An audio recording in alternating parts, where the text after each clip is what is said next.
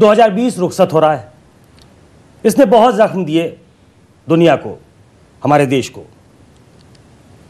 Corona के मामले बहुत बढ़े, दिल्ली खास तौर पे चर्चा में रही, बहुत कोरोना के मामले थे, ऐसा लगा आउट ऑफ़ कंट्रोल हो रहा है।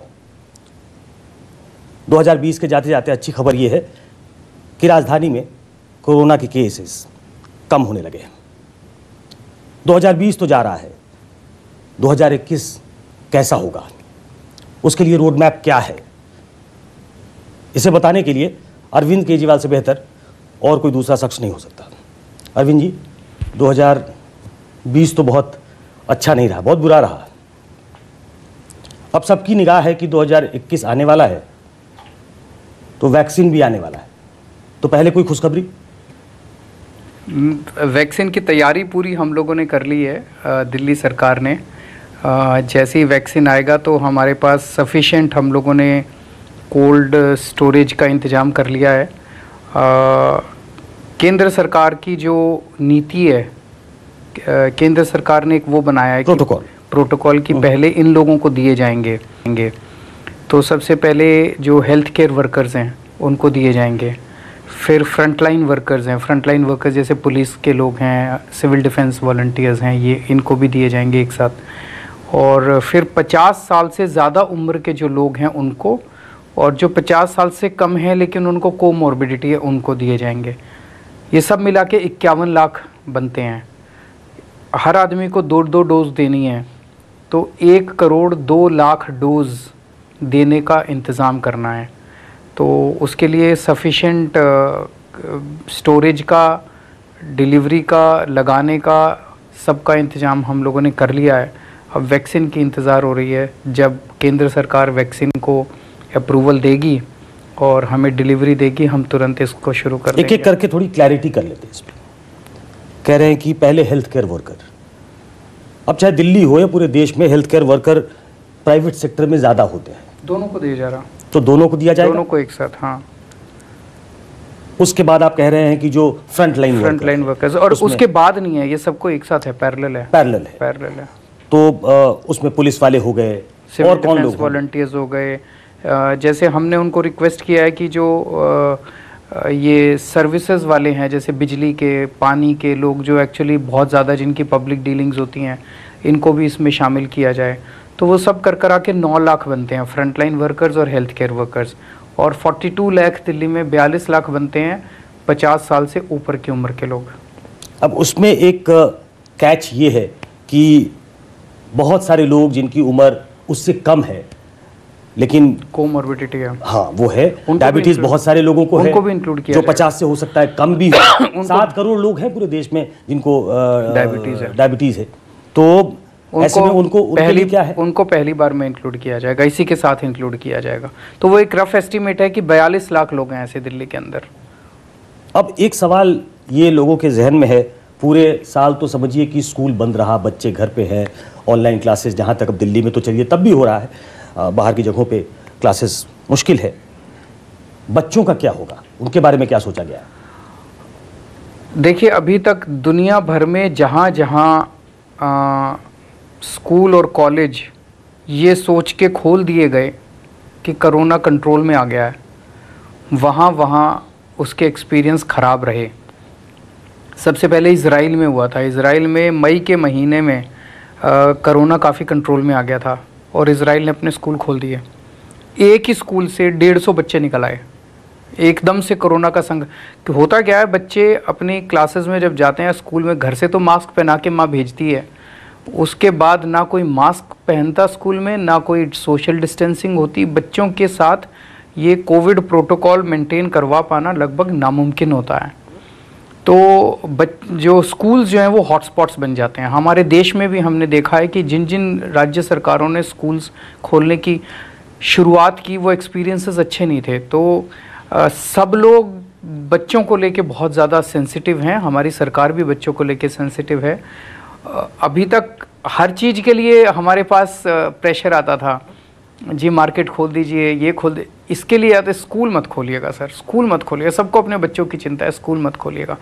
जब तक हम पूरी तरह से श्योर नहीं हो जाते कि स्कूल जाना बच्चों के लिए सेफ़ है, तब तक हम रिस्क नहीं लेना चाहेंगे। मतलब न्यूज़ 24 के दर्शकों को आप ये कह सकते हैं कि जब तक ये वैक्सीन नहीं आ जाता, जब तक वो लगा नहीं दिया जाता जब तक आप ऐसा अश्योर खुद नहीं हो जाते कि बच्चों का स्कूल जाना सेफ़ है, है, स्कूल तब- नहीं खुलेंगे। तब तक हम नहीं खोल पाएँगे। कोई एस्टिमेट ऐसा कि कब तक ऐसा देना पड़ा। अभी तो यही नहीं पता कि वैक्सीन कब तक आएगा।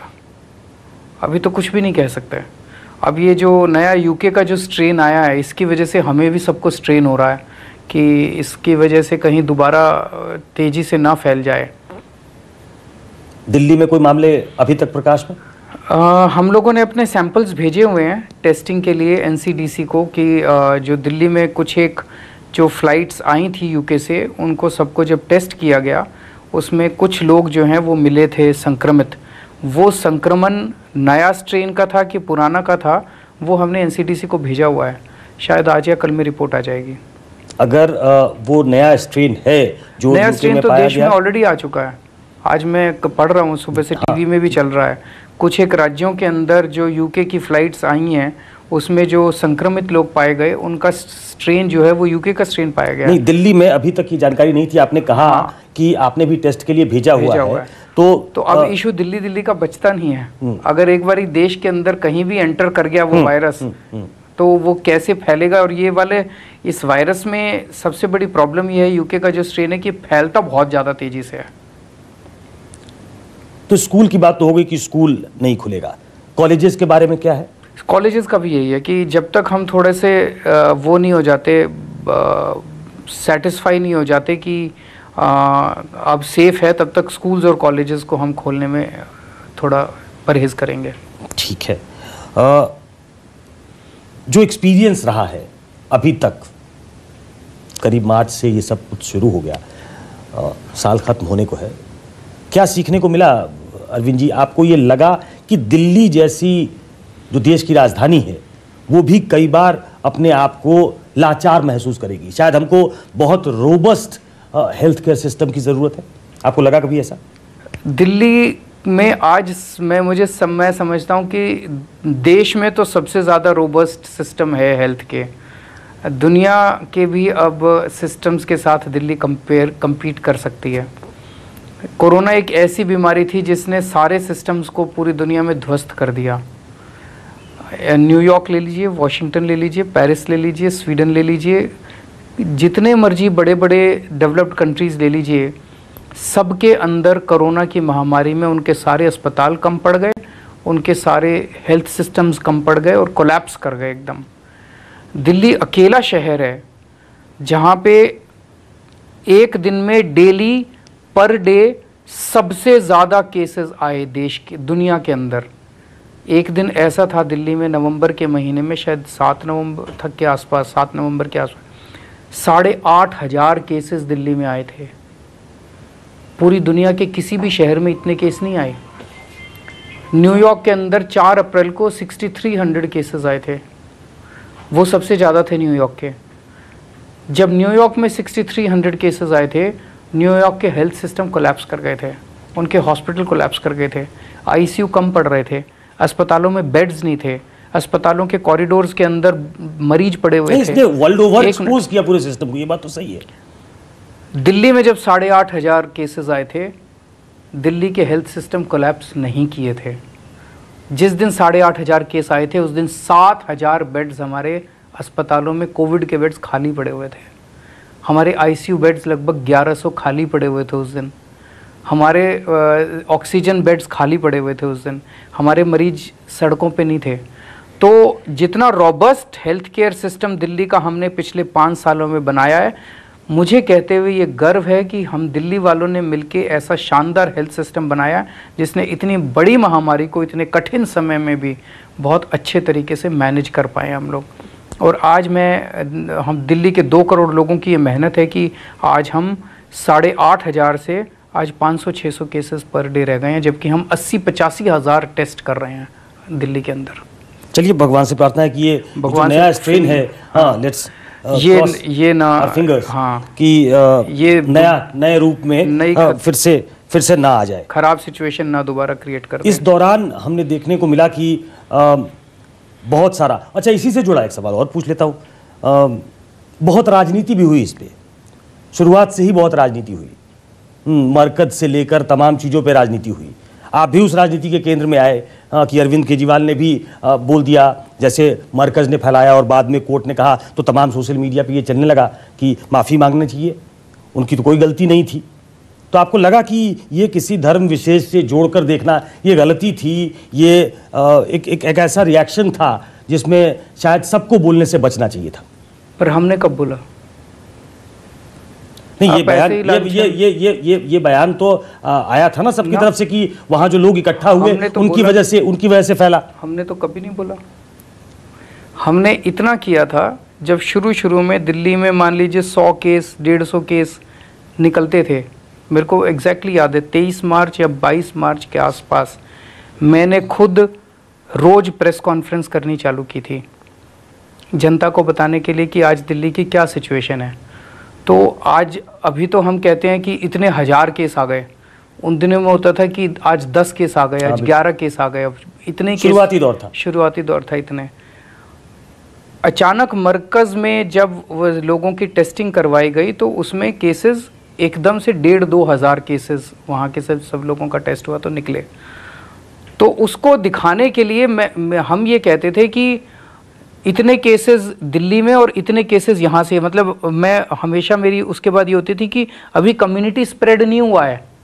अगर मैं ये कहता कि दिल्ली में तीन हज़ार केस हो गए मरकज़ के दो ढाई हज़ार केस और मान लीजिए दिल्ली के चार सौ पाँच सौ तीन हज़ार केस हो गए तो जनता में अफरा तफरी फैल जाती। तो हम उसको एक कैटेगरी हमने बना दिया था। हम ये कहते थे, भाई, ढाई हज़ार वहाँ से आए हैं, लेकिन बाकी दिल्ली में इतने तो अभी कम्युनिटी स्प्रेड नहीं हुआ है। कोई लोगों के बीच में फैला नहीं है। कुछ एक चंद लोगों का इधर उधर है जिसको हमने आइडेंटिफाई कर लिया है। तो लोगों को ये सुकून देने के लिए उल्टा हम ये बताते थे कि उस एक इंसिडेंट की वजह से इतने केस हुए हैं, लेकिन वो अभी फैला नहीं है और बाकी दिल्ली के अंदर इतने केस हैं। हमने कभी भी किसी भी एक सोर्स को, एक अगर सोर्स इसके लिए जिम्मेदार था, पूरे उसके लिए वो था कि विदेशों से जो फरवरी के महीने से केंद्र सरकार ने फ़्लाइट्स चालू की थी, जो सबसे ज़्यादा ऐसे देश थे जहाँ पे सबसे ज़्यादा इटली में, स्वीडन में, जब जहाँ सबसे ज़्यादा यूके में सबसे ज़्यादा केसेस हो रहे थे, वहाँ के इंडियंस ने सेंट्रल गवर्नमेंट को अप्रोच करना चालू किया कि आप हमें यहाँ से इवैक्यूएट कीजिए, आप हमें यहाँ से वापस अपने देश बुलाइए। तो उनके लिए स्पेशल फ़्लाइट्स चालू की गई। ये स्पेशल फ़्लाइट्स भर भर के आ रही थी जिसमें बहुत ज़्यादा संक्रमित लोग थे। जब ये भारत में पहुँचती थी फ़्लाइट्स स्क्रीनिंग ठीक से नहीं हुई। इनकी उस टाइम कोई स्क्रीनिंग का प्रोटोकॉल ही नहीं था। किसी को पता ही नहीं था। टेस्टिंग किट ही नहीं थे। टेस्टिंग का कोई प्रोटोकॉल ही नहीं था। ये सब फ्लाइट्स आती थी और सब अपने अपने घर चले जाते थे। सत्रह मार्च के आसपास शायद पहला वो आया था कि आइसोलेशन कैसे करना है। तो जो 22 मार्च का फाइलों में हमारे है तैतीस हज़ार लोग तब तक पिछले एक महीने में दिल्ली आके दिल्ली के अंदर स्प्रेड कर चुके थे। यहाँ से शुरू हुआ था दिल्ली के अंदर कोरोना फैलने का सिलसिला। जब पूरा दौर जो चला अरविंद जी तो मोस्ट ऑफ़ द गवर्नमेंट्स वो सेंटर के साथ सेम पेज पे दिख रही थी। आपको इस दौर में जब जो कोविड पे काम हुआ है तो क्या आपको लगता है कि प्रधानमंत्री ने केंद्र सरकार ने कोविड के दौरान सराहनीय काम किया अच्छा काम किया सेटिस्फैक्ट्री काम किया? मुझे नहीं लगता ये समय है किसी के ऊपर टिक्का टिप्पणी करने के लिए। इसने अच्छा काम किया उसने खराब काम किया इसने अच्छा काम किया उसने। मुझे नहीं लगता ये ज़रूरी है। ज़रूरी है ये एक आपदा है अभी भी चल रही है अभी ख़त्म नहीं हुई है। और हम सब लोगों को मिलके सारी सरकारों को सारी एजेंसीज को सारे आ, संस्थानों को मिलके इसको टैकल करना है। दिल्ली में तो होता होगा। दिल्ली में हम लोगों ने मेरा काम दिल्ली का मुख्यमंत्री होने के नाते अपने लोगों की जान बचाना है।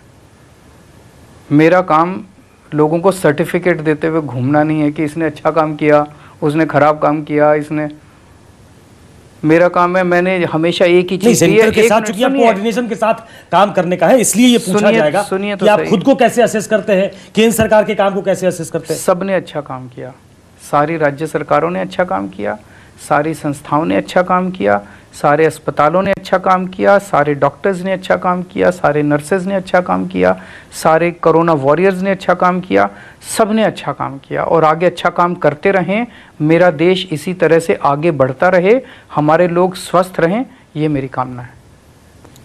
अब थोड़ी राजनीति की बात कर लेते हैं। हम्म, आपका इंटरेस्ट भी है उसमें आजकल राजनीति में भी आप दूसरे दूसरे प्रदेश में पाँव फैलाने में लगे। आपने कहा सबने अच्छा काम किया तो यहीं से शुरू कर देते हैं कि सबसे ज़्यादा हमला तो आप योगी आदित्यनाथ सरकार पर कर कर रहे हैं कि जो कोविड के दौरान जो खरीद हुई जो ऑक्सीजन के मीटर्स लिए गए और तमाम जो दूसरे इक्विपमेंट्स लिए गए हैं उसमें बड़ा घोटाला हुआ है। नहीं वो हमारे ऊपर आरोप लगा रहे हैं। तो आप भी आप भी लगा रहे हैं उन पे। उन्होंने एक आरोप लगाया एक मीटर आता है। जो मार्केट में मिलता है, जो घर में यूज़ होता है, वो 200 ढाई सौ रुपये का आता है। और अस्पताल में जो यूज़ होता है, ऑक्सीमीटर जो है, वो बड़ा होता है, उसमें एक मॉनिटर होता है और वो होता है, वो मार्केट में नब्बे, पचानवे हज़ार का आता है। तो जेम से इन्होंने, हमारे अफसरों ने खरीदा होगा, वो साठ, तिरसठ हज़ार का था। वो अलग, चीज़ ही अलग है। नाम दोनों को चाहे ऑक्सीमीटर दे लो, एक का होगा शायद oximeter one, two, three, four, दूसरे का oximeter, A, B, C, D, model अलग है। उन्होंने कहा, देखो देखो, केजरीवाल ने घोटाला कर दिया। दो सौ रुपये का ऑक्सीमीटर तिरसठ हज़ार में खरीदा। इस तरह के वो आरोप लगा रहे थे। आपसे सीख तो लिया उनका उनका आप, आ, आप भी शुरुआती दिनों में ऐसे ही करते थे अब सरकारों पे हमला इसी तरीके से करते थे कि देखिए देखिए घोटाला हो गया। तो आपसे सीख लिया क्या? आपकी असेसमेंट है। तो ये उत्तर प्रदेश में अचानक से चुनाव लड़ने का ये मन कैसे बना लिया आपने? भाई हमारी पार्टी है। पार्टी ने आम आदमी पार्टी ने दिल्ली में अच्छा काम किया है। ये आप भी मानते हैं। आ, अस्पताल जनता मानती हो कि दूसरी बार आपको सत्ता में दिया है तो हम तो क्रिटिकली इवेल्युएट करते रहते हैं लेकिन हाँ जनता आपको दोबारा चुन के बासठ सीटों के साथ अगर सत्ता में लाती है तो ये मानना पड़ेगा कि जनता आपको पसंद करती है तो दिल्ली में आज 24 घंटे बिजली मिल रही है। जब हमारी सरकार 2015 में बनी थी तो मेरे को याद है 2014 की गर्मियों में दिल्ली में सात सात आठ आठ घंटे के पावर कट लगते थे। आज दिल्ली में 24 घंटे बिजली मिलती है इन्वर्टर की सेल बंद हो गई है जनरेटर की सेल बंद हो गई है। और दिल्ली के 70 प्रतिशत लोगों को फ्री बिजली मिलती है। ज़ीरो बिल 24 घंटे बिजली। ये दुनिया के आठवें चमत्कार की तरह है। तो अगर दिल्ली के अंदर ऐसा हो सकता है तो उत्तर प्रदेश के लोग भी कहते हैं, भाई, हमें भी मिलनी चाहिए। उन्होंने क्या गुनाह किया? दिल्ली के स्कूल इतने अच्छे हो गए। हमने कहा, दिल्ली के स्कूल इतने अच्छे हो गए। तो उन लोगों ने हमारे ऊपर हमला किया। उन्होंने कहा दिल्ली के स्कूल कहाँ अच्छे हो गए? हमारे स्कूल अच्छे हैं तो मनीष सिसोदिया ने कहा मैं आता हूँ देखने के लिए। आप भी दिखाइए आप भी हमारे देखने आइए। इतना सिंपल थोड़ी ना है। तो? आप इसी तरीके से हेड ऑन लेना चाहते हैं। आप आप आप वो चाहते हैं कि तो किसी दिल्ली के तरीके से फंसा के किसी तरीके से फंसा के अपने प्रतिद्वंदी को सामने लाया जाए ताकि आप सीधे सीधे उसके साथ कंटेस्ट में दिखे। सुकेश जी आपको नहीं लगता ये अच्छी राजनीति है जो भी हो रही है? नहीं अच्छी राजनीति है। ये प्रतिस्पर्धा मैंने अभी राजनीति अच्छी देखा था राजनीति होती है। एक टीवी चैनल है लोकल वहाँ का, उत्तर प्रदेश का। उसके एंकर ने अपना रात का प्राइम टाइम शो इसी से शुरू किया। उसने कहा, मैं तीस साल से पत्रकारिता कर रहा हूँ। लेकिन आज मुझे बड़ा सुखद अनुभव ये हुआ कि आज तूतू में मैं स्कूलों के ऊपर हुई है। आज राजनीति स्कूलों के ऊपर हुई है। ये पार्टी भी स्कूलों की बात कर रही है और वो पार्टी भी स्कूलों की बात कर रही है। अच्छी चीज़ है। राजनीति अगर अच्छे मुद्दों पे हो तो देश तरक्की करेगा। और राजनीति अगर केवल धर्म और जाति पे हो तो देश पिछड़ा होगा। नहीं इन इन तो मुद्दों पे स्कूलों के ऊपर मैं इसको वेलकम करता हूँ। मान लीजिए एक राज्य की सरकार कहती है कि हमारे स्कूल अच्छे दूसरे राज्य की सरकार कहती है कि हमारे ज़्यादा अच्छे। मैं तो चाहूँगा कि ये सरकार का मंत्री इधर जाए वो सरकार का मंत्री उधर जाए दोनों एक दूसरे के स्कूल देखें सीखें और अपने अपने को सुधारें। बिल्कुल compete करना चाहिए compete करना चाहिए। करना चाहिए ये एक ये देश के लिए अच्छी चीज़ होगी। तो उसी दिशा में हम डिबेट को ले जाना चाहते हैं और उसी दिशा के अंदर हम राजनीति को ले जाना चाहते हैं। अब अगर दिल्ली के अंदर इतनी अच्छी बिजली है इतने अच्छे स्कूल हो गए इतना रोबस्ट हेल्थ केयर सिस्टम बनता जा रहा है तो बाकी देश के लोगों को भी तो इच्छा है ना कि हमारे राज्य के अंदर भी इस किस्म की सुविधाएँ मिलनी चाहिए। या तो उनकी सरकारें दे दे नहीं, वो और नहीं तो वो अपनी सरकारों को पटल के पलट के आम आदमी पार्टी की सरकार लाएँगे। वहाँ वहाँ की सरकार या बाकी प्रदेशों की सरकार ये कहती है कि दिल्ली की भौगोलिक स्थिति दिल्ली जहाँ स्थित है अ, वो एक अ, मतलब दे- देश की राजधानी है। अब उसकी तुलना आप दूसरे प्रदेशों से नहीं कर सकते। ये बड़ा कन्वीनियंटली अरविंद केजरीवाल चूज़ कर लेते हैं और हमारी सरकारों पे हमला करते हैं। ये तो बड़ा कन्वीनियंट एक्सक्यूज है। अरे अरे, उनकी तो परिस्थिति बड़ी अच्छी है। हमारे यहाँ भी सात आठ आठ, सात सात, आठ आठ घंटे के पावर कट दिल्ली में भी लगते थे। हमारे से पहले वाली कांग्रेस और बीजेपी की सरकारों ने दिल्ली क्यों नहीं सुधार ली? अगर दिल्ली सुधारना इतना ही आसान होता तो? उत्तर प्रदेश की सरकार कहती है कि हमारे तो 24 करोड़ लोग जनसंख्या है दिल्ली में तो दो करोड़ हैं। जो दो करोड़ संभाल सकते हैं, वही 24 करोड़ संभाल सकते हैं। 24 करोड़ वैसे ही हवा में नहीं संभलते।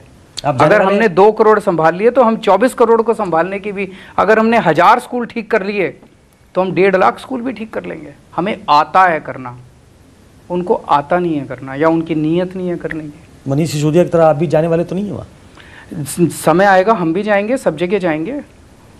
मतलब ताकत से चुनाव लड़ना चाहते हैं वहाँ ज़रूर लड़ेंगे। जनता चाहती है। जनता दिल्ली के अंदर हर राज्य की जनता रहती है। दिल्ली के अंदर उत्तराखंड के लोग रहते हैं, दिल्ली के अंदर उत्तर प्रदेश के लोग कहते हैं, रहते हैं। अभी इस कोरोना काल के दौरान मेरे पास कितने लोग आए? बोले, सर, जैसे दिल्ली के अंदर बिजली ज़ीरो है, बिजली के बिल ज़ीरो है, आप उत्तर प्रदेश में आइए, हमारे यहाँ भी कीजिए। मैंने कहा, हम कैसे चुनाव लड़ेंगे? हमारे पास तो पैसे ही नहीं है। बोले, आप आइए तो सर, वहाँ पे इतना आपका, आपकी डिमांड है कि वहाँ जनता चुनाव लड़ेगी। दिल्ली में भी जनता ही लड़ी थी हमारे पास कहाँ पैसे थे? अन्ना आंदोलन से निकले थे, हमारे पास तो ढीला नहीं था। जनता चुनाव लड़ी थी, जनता जीती थी, उत्तर प्रदेश की जनता चाहेगी कि आम आदमी पार्टी आए तो आम आदमी पार्टी आएगी, नहीं चाहेगी तो नहीं आएगी।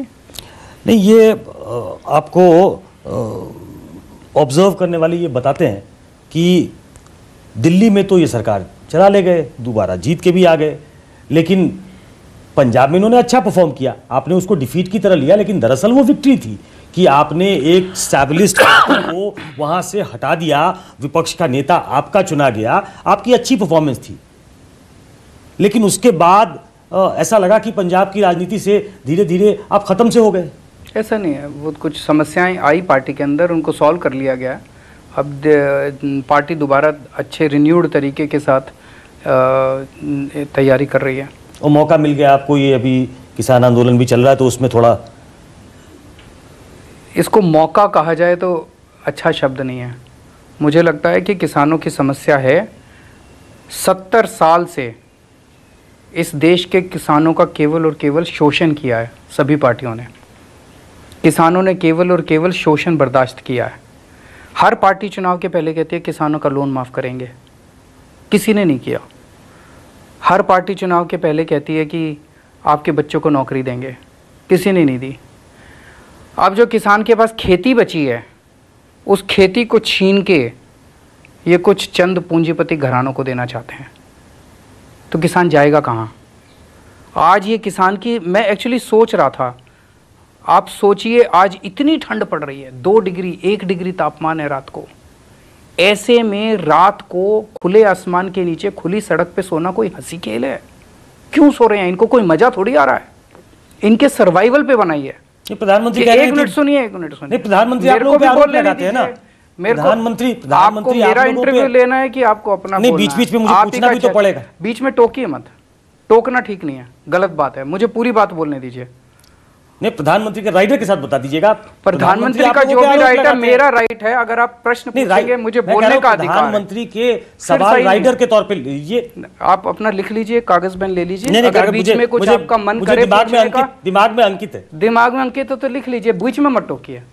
वो मेरा मेरा भी बोलने का वो थॉट प्रोसेस खत्म हो जाता है और मैं जनता को अपनी बात नहीं कह पाता। चैनल अच्छा, आपका है आप तो 24 घंटे अपने चैनल पे बोल ही सकते हैं।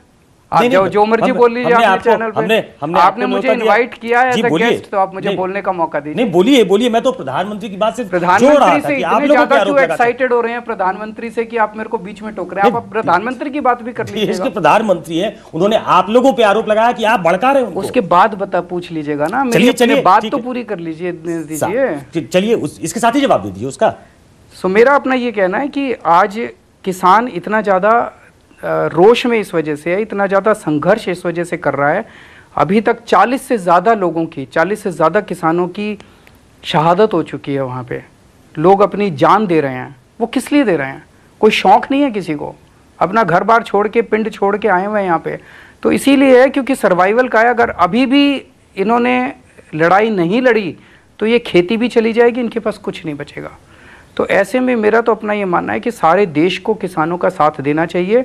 कुछ चंद लोग या तो राजनीतिवश या गलत फहमी में पूंजीपतियों का साथ दे रहे हैं। बाकी सारा देश इन किसानों के साथ खड़ा है। मैं उम्मीद करता हूँ आपके चैनल के ज़रिए आज केंद्र सरकार से अपील करना चाहता हूँ कि कल आपकी बैठक है किसानों के साथ। अब इन तीनों कानूनों को अपनी जिद छोड़े, केंद्र सरकार अहंकार छोड़े और तीनों कानूनों को वापस लेके और इनका संघर्ष खत्म कराए। अब अब मैं प्रधानमंत्री जी क्या कहना जी चाह रहे प्रधानमंत्री ये कहना चाह रहे हैं वो आप जैसे जो राजनीतिक दल हैं उन पे आरोप लगा रहे हैं खासतौर पे मुझे लगता है कांग्रेस उनके निशाने पे है क्योंकि कांग्रेस ने बहुत दिन तक शासन किया है कि वो भ्रम फैला रहे हैं।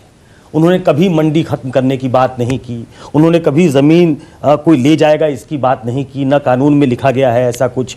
तो ये चूँकि एम्पायर करना है किसानों को क्या? वो चाहते हैं वो एम्पायर करना चाहते हैं। उन्होंने ये कहा है कि मंडियाँ भी रहेंगी। और अ, फ्री मार्केट भी होगा आपको जहाँ ज़्यादा कीमत मिले वहाँ अपने अपने प्रोडक्ट को बेच दो। इस कानून को लाया क्यों जा रहा है? इसका फ़ायदा क्या है? यही तो फ़ायदा बता रहे हैं कि वो एम्पायर करना चाहते हैं किसानों को और आप जैसे लोग राजनीति की खेती कर रहे हैं और इसलिए भड़काते हैं उनको। तो मैं आप ही से पूछ लेता हूँ मैं तो अनपढ़ आदमी हूँ। मैं तो अनभिज्ञ आदमी हूँ। आप बता दीजिए आपके चैनल के ज़रिए इस कानून के क्या क्या फ़ायदे हैं। नहीं नहीं ये ये तो प्रधानमंत्री लगातार बता रहे हैं मैं तो प्रधानमंत्री की बात। प्रधानमंत्री जी से पूछ लीजिए ना। प्रधानमंत्री ये कहते हैं कि उन्होंने डेलीबरेट किया पिछले कुछ साल से जो कितने कमीशन बने उन सबने और कांग्रेस भी इसी रास्ते पे जा रही थी और उसी रास्ते को वो आगे बढ़ाना चाहते हैं क्योंकि वो किसानों को एम्पायर करना चाहते हैं उनको ज़्यादा शक्ति देना चाहते हैं उनके हाथ में ज़्यादा पैसे हो ये इंतज़ाम करना चाहते हैं तो इससे कैसे किसान को कैसे शक्ति मिलेगी कैसे ज़्यादा पैसा आएगा थोड़ा समझा दीजिए ये तो प्रधानमंत्री समझा रहे हैं। मैं कह रहा हूँ कि मेरा तो काम मेरा काम उनसे भी पूछना है आपसे भी पूछना है कि क्या आप लोग इसमें राजनीति की खेती कर रहे हैं क्या? नहीं मैं आपसे पूछना चाहता हूँ कि आप ही समझा दीजिए ना कि मैं अगर आप मेरे को समझ आ गया तो मैं दूसरों को भी समझा दूँगा। मैंने बीजेपी के और केंद्र सरकार के सारे मंत्रियों के और सारे नेताओं के भाषण सुने हम्म। हैं एक एक हम्म। मुझे लगा कि शायद मैं ही कुछ मिस कर रहा हूँ। ये कह रहे हैं इस कानून के बड़े फ़ायदे ये कह रहे हैं इस कानून के बड़े फ़ायदे। जैसे योगी जी का भाषण आ रहा था मैंने सुना भाषण। तो उन्होंने कहा कि इस कानून से आपकी ज़मीन नहीं जाएगी। तो ये तो कोई फ़ायदा नहीं हुआ। वो तो कह रहे आपका कोई नुकसान नहीं होगा। तो फ़ायदा क्या होगा? फ़ायदा उन पूंजीपतियों का होगा। फिर जैसे आप जैसे लोगों से एक दो बार डिबेट किए मैंने। तो जब मैंने एंकर से बार बार पूछा इसका फ़ायदा तो बताइए। फ़ायदा कोई नहीं बता पाया ना एंकर बता पाते ना बीजेपी वाले बता पाते ना केंद्र। फिर वो कहता है अच्छा आप ये बताइए कि खेती का कॉरपोरेटाइजेशन होना चाहिए कि नहीं? हम्म। मैंने कहा अब आए लाइन पे। हम्म। तो तुम्हारा मकसद बेसिकली ये है कि पूंजीपतियों को खेती मिलनी चाहिए कि नहीं मिलनी चाहिए? हम्म। वो किसान भी तो यही कह रहे हैं।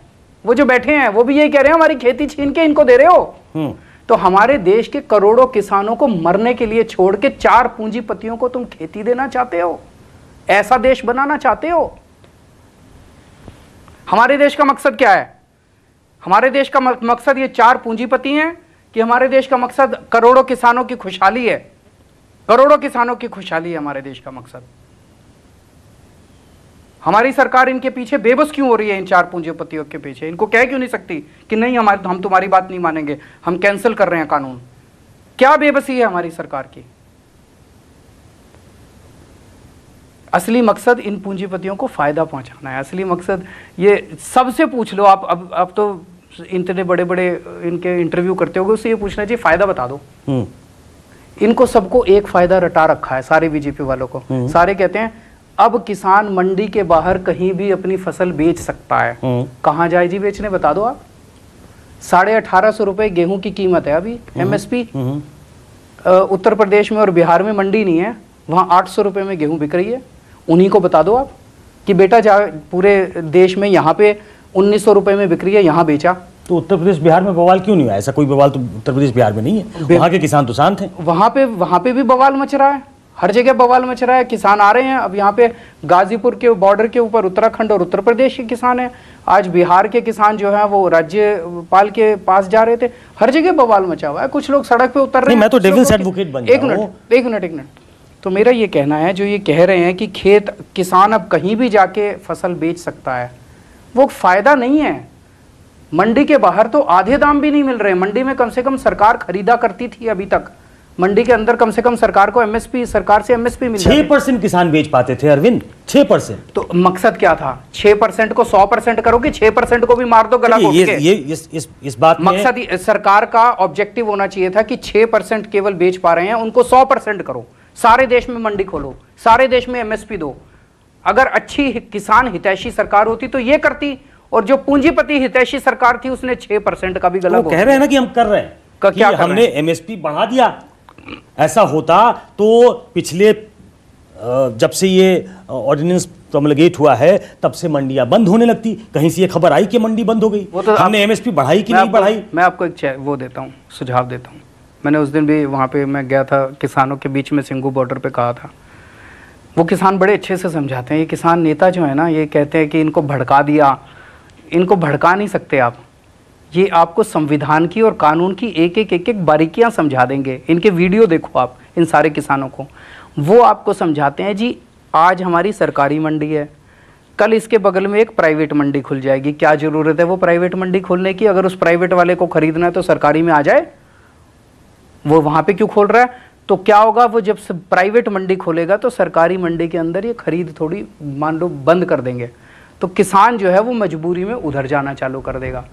थोड़े दिन के अंदर यहाँ पे ये सरकारी मंडी साल में दो साल में बंद करना चालू कर देंगे। ये इनका पूरा उसके बाद एक अधिकार हो जाएगा उनका। उसका एक अधिकार है। ये सारे ये किसान सरकार- सरकार ये सा- एक है ये। ये सारे किसान बड़े अच्छे से आपको समझाते हैं।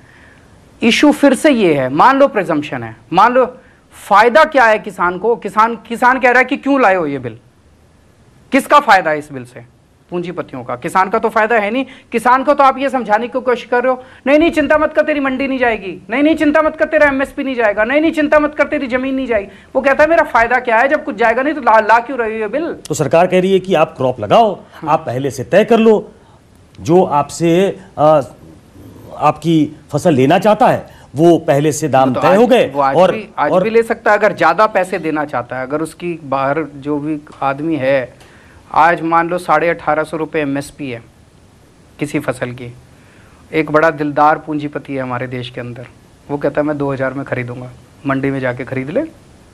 क्यों नहीं खरीदता? नहीं व्यापारी किसने रोका है? बहुत दिलदार नहीं होता ना वो अपना बिज़नेस भी तो देखता है। तो वो इसका मतलब साढ़े अठारह सौ से कम पे खरीदना चाहता है। है कि नहीं? नहीं तो आप कुल मिला के ये मेरा चाहते मैं आपसे पूछना चाहता हूँ कि कोई अगर साढ़े अठारह सौ से ज़्यादा खरीदना चाहता है मंडी में चला जाए, मंडी बंद करने की क्या ज़रूरत है? प्राइवेट मंडी खोलने की क्या ज़रूरत है? सरकारी मंडी में जाए, वहाँ पे उन्नीस सौ रुपए बोले, उन्नीस सौ उन्नीस सौ सरकारी बिक्री बंद हो जाएगी, सारे इसके पास आ जाएँगे। किसान को क्या फ़ायदा है इस बिल से? किसान को कोई फ़ायदा नहीं है इस बिल से। तो मेरा ये था कि जो सरकार कहना, कह रही है कि भटकाया जा रहा है ऑपोजिशन भटका रहा है, गुमराह कर रहा है, सरकार अपना मंत्री भेज दे, चार मंत्री भेज दें और चार किसानों के नेता बैठ जाएँ एक पब्लिक डिबेट हो जाए। मैं आपको चैलेंज करता हूँ अगर मंत्री जो हैं किसानों के नेताओं के सामने पाँच मिनट भी टिक जाएँ तो। पता चल जाएगा कौन किसको भटका रहा है। अच्छा किसानों का फ़ायदा नहीं आपका कितना फ़ायदा हो रहा है इसमें? पंजाब में चुनाव बहुत दूर नहीं है। राजनीतिक फ़ायदा कितना देख रहे हैं आप इसमें? इसमें कोई राजनीति ना ही देखें आप तो अच्छा है। नहीं मैं तो मुझे तो देखना मजबूरी है मेरी क्योंकि नहीं खुली खुली आँखों से अगर आप देखें तो साफ़ समझ में आता है कि इसमें हर दल राजनीति करेगा क्योंकि राजनीतिक दल राजनीति ही करते हैं। अब आप अन्ना आंदोलन वाले अरविंद केजरीवाल नहीं हैं। आप आम आदमी पार्टी जिसकी दिल्ली में सरकार है जो पंजाब में भी चुनाव लड़ चुकी है जी जो जो वहाँ एक अपोजिशन पार्टी के तौर पे है तो राजनीति तो आप करना चाहते हैं। तो ये आपको पॉलिटिकल डिविडेंड कितना दे रहा है अभी तक? नहीं ये मैं अभी उस पॉइंट ऑफ़ व्यू से हम लोगों ने कभी नहीं सोचा। हमें ये लगता है कि सत्तर साल से जो किसानों की दुर्दशा थी आज तक इतना बड़ा किसानों का आंदोलन शायद इस देश में नहीं हुआ। जब हमारा अन्ना आंदोलन हुआ था लोग कहते थे कि इतना बड़ा भ्रष्टाचार विरोधी आंदोलन कभी नहीं हुआ। आज किसानों का इतना बड़ा आंदोलन हमने तो देखा नहीं है। तो मुझे लगता है कि अगर इस कानून इस आंदोलन के अंत में आ, ये कानून ख़त्म होके अगर एमएसपी की गारंटी का कानून आ जाए जो कि स्वामीनाथन आयोग ने भी बोला था। एमएसपी की गारंटी कि सरकार एमएसपी तय करे, स्वामीनाथन के फार्मूले से तय करे और उस सारी फ़सलें उठाने की सरकार गारंटी दे। अगर ऐसा कानून आ जाए तो मैं समझता हूँ ये किसानों के लिए, हमारे देश के लिए, देश की तरक्की के लिए बहुत बड़ी बात होगी। थोड़ा दिल्ली की राजनीति की भी चर्चा कर लेते हैं।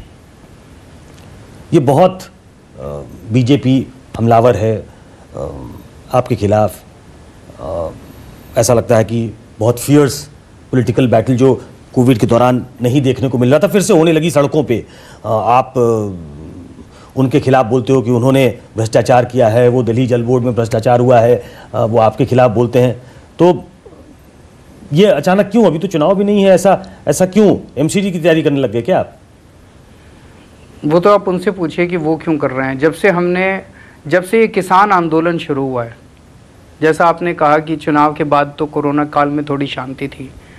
कोरोना काल तो अभी ख़त्म नहीं हुआ। जब से किसान आंदोलन शुरू हुआ है और जब से हमने किसानों का समर्थन करना चालू किया है, उन्होंने कोई ना कोई बहाना करके, कोई ना कोई बहाना करके हमारे ऊपर अटैक चालू कर दिया। उन्होंने दो दिन के लिए मुझे नज़रबंद कर दिया। उन्होंने सिटिंग डिप्टी चीफ मिनिस्टर के घर के अंदर गुंडे भेज के और उनके ड्राइंग रूम के अंदर घुस गए लोग। कभी सुना है आपने कि सिटिंग डिप्टी चीफ मिनिस्टर के अंदर गुंडे घुस सकते हैं? पचास लोग घुस सकते हैं। राघव चड्ढा के दफ्तर के अंदर तोड़फोड़ करा दी। अब पिछले दो तीन दिन से हमारे कार्यकर्ताओं की इधर उधर पकड़ पकड़ के पिटाई कर रहे हैं। ये अच्छी चीज़ नहीं है। अगर किसानों का हम साथ दे रहे हैं हमारा कसूर क्या है? पिछले पंद्रह दिन के अंदर अचानक ही इतने हमले हमारे ऊपर किसान? एंगल कहाँ से आ गया? आप जानबूझ के इसमें भी किसान एंगल लेके आ गए। किसानों की वजह से ही हो रहा है अदरवाइज़ अभी क्यों हो रहा है? क्या कारण है? मनीष के घर के अंदर क्यों घुसे वो? आप बता दो। मेरे को नजरबंद मैं उस दिन जाना चाहता था वहाँ पे। किसानों ने कोई कॉल दी थी मंगलवार का दिन था। मैं वहाँ एक घंटे के लिए जाना चाहता था। बंद कर दिया। आप गए तो थे अभी? कल ही तो गए थे। अभी गया था ना। दो दिन के लिए नजरबंद किया था उस टाइम तो अगर उनको बंद करना होता तो लंबा बंद कर देते। जाने ही नहीं देते आपको। वो तो वो तय करेंगे। आप थोड़ी तय करोगे। वो तय करते हैं भैया दो दिन रोकना है कि चार दिन रोकना है कि एक दिन रोकना है कि क्या? सो ये अच्छा नहीं है। अगर हम किसानों का समर्थन करना चाहते हैं, देश के अंदर जो जो लोग किसानों का समर्थन करना चाहते हैं, उनको अगर इस तरह से विक्टिमाइज किया जाएगा, अभी हम उत्तर प्रदेश के अंदर सुन रहे हैं। उत्तर प्रदेश के अंदर वहाँ की सरकार गाँव गाँव के अंदर अपने ऑफिसर्स को भेज रही है। गाँव, अभी हमारे बहुत सारे लोग जब गाँव गाँव में जा रहे हैं, बता रहे हैं कि हर घर के अंदर जाके पूछ रहे हैं, कोई आंदोलन में तो नहीं गया था? कोई आंदोलन में तो नहीं गया था? दिल्ली दिल्ली नहीं, हर जगह ये एक तरह से शुरू किया जा रहा है कि जो आंदोलन में जाए उसको पकड़ के प्रताड़ित करो। ये यूपी से भी पता कर लिया आपने? बिल्कुल। कि जहाँ जहाँ आप चुनाव लड़ने के मूड में होते हैं वहाँ वहाँ ज़्यादा अपनी इंटेलिजेंस लगाते लगता है। कि उत्तर प्रदेश में भी ऐसा हो रहा है। अब चूँकि उत्तर प्रदेश में भी आपका पॉलिटिकल इंटरेस्ट है तो आपने वहाँ भी वहाँ की सरकार को भी घसीट लिया कि जा जा के पूछ रहे हैं और नोट कर रहे हैं। पत्रकार भेज के पता करा लो। मतलब ये जो दिल्ली में सब कुछ हो रहा है आप कह रहे हैं कि उसके केंद्र में भी किसान आंदोलन है। और क्या? है चलिए आपने किसान आंदोलन पे फिर से घुमा के बात को वहाँ पहुँचा दिया है। पंजाब में कोई चेहरा आपका? समय आने पे बताएँगे। तो थोड़ा पहले बता दीजिए इसमें क्या है मतलब पहले बता देंगे। अभी तो बहुत टाइम है। कोई बाहर का आदमी जो जिसकी तरफ़ आपकी नज़र हो कि उनको लाया जा सकता है। जैसे ही डिसीज़न होगा हम आपको ज़रूर बताएँगे। अब सीधे सीधे नहीं बता रहे कोई नवजोत सिंह सिद्धू से बातचीत चल रही है क्या? बातचीत होगी तो हम ज़रूर बताएँगे आपको। कोई पिछली बार बड़ा इस बात को लेकर हुआ वो की स्थिति थी कि अरविंद केजरीवाल भी सीएम हो सकते हैं नहीं नहीं नहीं। तो मुझे लगता है कि अब अब शायद आम आदमी पार्टी उस लेवल पे आ गई है कि अरविंद केजरीवाल दिल्ली में रहेंगे, वो पंजाब जाने की नहीं सोचेंगे। तो पंजाब के लिए कोई चेहरा एक ढूंढा होगा, क्योंकि देखिए एक बादल फैमिली है वहाँ। प्रकाश सिंह बादल बहुत दिनों तक सीएम रहे, कई बार सीएम रहे एक अमरिंदर सिंह है। आपके पास कोई चेहरा नहीं है वहाँ तो आपको चेहरे की कमी महसूस होती है वहाँ? समय आने पे बताएँगे, मैंने आपको बोला। अभी तो सवा साल है चुनाव का। अभी किसान आंदोलन के बीच में सब लोग बिज़ी हैं। अभी इस बारे में कोई सोच भी नहीं रहा है। अभी इस आंदोलन से कैसे समाधान निकले उसी के बारे में सब लोग सोच रहे हैं।